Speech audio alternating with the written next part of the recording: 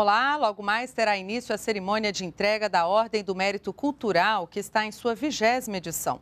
26 pessoas e quatro entidades vão receber a homenagem hoje, Dia Nacional da Cultura.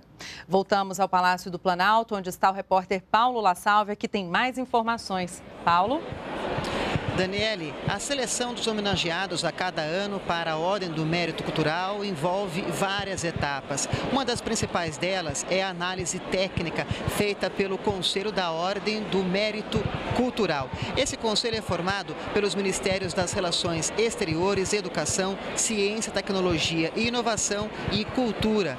Desde que foi criada a Ordem, 500 personalidades e 60 instituições no país receberam a homenagem. Voltamos com você no estúdio, Daniele. Obrigada, Paulo. E você acompanha a transmissão ao vivo aqui na NBR da cerimônia de entrega da Ordem do Mérito Cultural 2014. Continue com a gente. NBR a TV do Governo Federal.